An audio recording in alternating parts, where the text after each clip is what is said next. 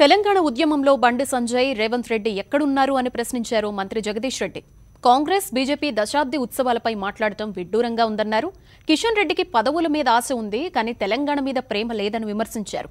కనీ విని ఎరుగని రీతిలో దశాబ్ది ఉత్సవాలు జరుపుకుంటున్నామన్న మంత్రి జగదీష్ రెడ్డితో మా senior correspondent Ashok face to face Telangana దశాబ్ది ఉత్సవాలను అంగరంగ వైభవంగా నిర్వహించాలని సీఎం కేసీఆర్ ఆదేశించడంతో జిల్లాలో కూడా అదే స్థాయిలో నిర్వహించాలని జిల్లా మంత్రి జగదీష్ రెడ్డి గారు కూడా ఇప్పటికే అందరు ఎమ్మెల్యేలకు కూడా సూచించారు. మనతో మంత్రి జగదీష్ రెడ్డి గారు సార్ చెప్పండి. దశాబ్ది ఉత్సవాలు కనీవిని ఎరగని రీతిలో నిర్వహిస్తున్నట్టు తెలుస్తుంది.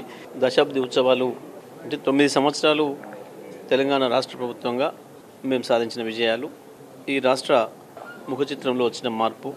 ఈ నల్గొండ జిల్లాలో ఈ తొమ్మిది సంవత్సరాల కాలంలో జరిగిన అభివృద్ధి అన్ని విషయాల్ని కూడా ప్రజలకు తెలియజేసే పద్ధతుల్లో ప్రజలకు కళ్ళకట్టినట్టుగా చూపించే పద్ధతుల్లో ఈ దశాబ్ది ఉత్సవాల్ని నిర్వహించబోతా ఉన్నాం. ఓవైపు బీజేపీ ఢిల్లీలోనూ నిర్వహిస్తాం మరోవైపు కాంగ్రెస్ రాష్ట్రంలో కూడా నిర్వహిస్తాం. ఈ పదేళ్ళలో ఏం చేసింది లేదని కూడా కామెంట్ చేస్తున్నారు. కిషన్ రెడ్డి కూడా ఇంతకు ముందుకు మాట్లాడారు. ఎట్లా చూస్తారు వాళ్ళకి? నేను మొదటి చెప్తున్నట్టుగా ఒక బాధ్యత లేని రాజకీయ నాయకులు. అంటే రాష్ట్ర ఏర్పాటు ఉద్యమంలోనే లేని వాళ్ళు వీళ్ళు. పిసిసి అధ్యక్షుడు కావచ్చు ఆనాడు రాష్ట్రాన్ని వ్యతిరేకించిన పార్టీలో ఉన్నాడు. ఇవాళ ఉన్న బీజేపీ అధ్యక్షుడు కావచ్చు కిషన్ రెడ్డి కావచ్చు వీళ్ళిద్దరు కూడా తెలంగాణ ఉద్యమంలో ఎన్నడూ కూడా లేరు. కాబట్టి వీళ్ళకు రాష్ట్ర ఏర్పాటు ఆకాంక్ష లేని వాళ్ళు దాని యొక్క ఉపయోగం ఏందో దానివల్ల జరిగిన లాభం ఏందో తెలియని వాళ్ళు ఈ రాష్ట్రం మీద ఉండే ప్రేమ కంటే వాళ్ళ సొంతంగా వాళ్ళ పదవుల మీద మాత్రమే ప్రేమ ఉన్న వాళ్ళు వీళ్ళు. రాష్ట్ర ఏర్పాటు ఉత్సవాన్ని స్వాగతించాలి వాస్తవానికి.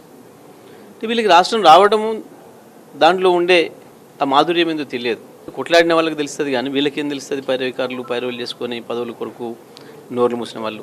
వాస్తవానికి ప్రత్యేకించి కిషన్ రెడ్డి అయితే ఆనాడు రాజీనామా చేయాల్సిన పరిస్థితి వస్తే పాపం తన వెంట ఉన్న లక్ష్మీనారాయణ గారు రాజీనామా చేసిపోయింది కానీ ఈయన రాజీనామా కూడా చేయలేదు. దాని కూడా వెనకపోయినవాడు కాబట్టి ఆనాడు ఈనాడు ఆయనకి ఏనాడు కూడా ఈ తెలంగాణ ప్రజల పట్ల ప్రేమ లేదు.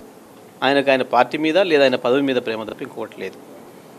వాళ్ళ పార్టీ అధ్యక్షుడు ఆయనకి ఎన్నడూ కూడా బాధ్యతలు తెలియవు బరువులు తెలియవు ప్రజలంటే తెలియదు సంక్షేమం అంటే తెలియదు అభివృద్ధి అంటే తెలియదు. పిసిసి అధ్యక్షుడు ఆయన ఎప్పుడైనా సరే తెలంగాణ వ్యతిరేకంగా ఉన్న శక్తుల చేతుల్లో ఉన్నాడు వాళ్ళ చేతుల్లో పనిచేసినవాడు. ఆనాడు వాళ్ళ ఆంధ్ర భాషలు ఏం చెప్తే అది మాట్లాడినవాడు.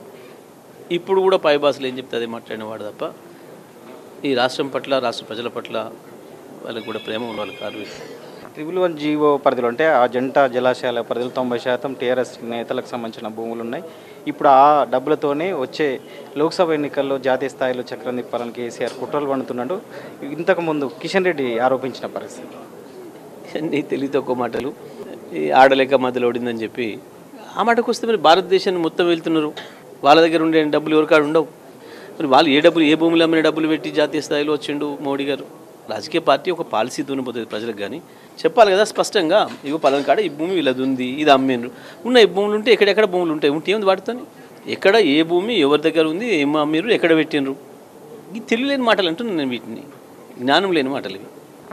మొత్తంగా దశాబ్ది ఉత్సవాల సందర్భంగా గత పదేళ్ళ కాలంలో టీఆర్ఎస్ చేపట్టిన అభివృద్ధి సంక్షేమ పథకాలు ప్రజలను తీసుకెళ్ళడం అదేవిధంగా ఇరవై రోజుల పాటు ఈ ఉత్సవాలు నిర్వహిస్తామని కూడా మంత్రి జగదీష్ రెడ్డి చెప్పారు కెమెరామ్యాన్ ఉపేందర్తో అశోక్ రెడ్డి నల్గొండ.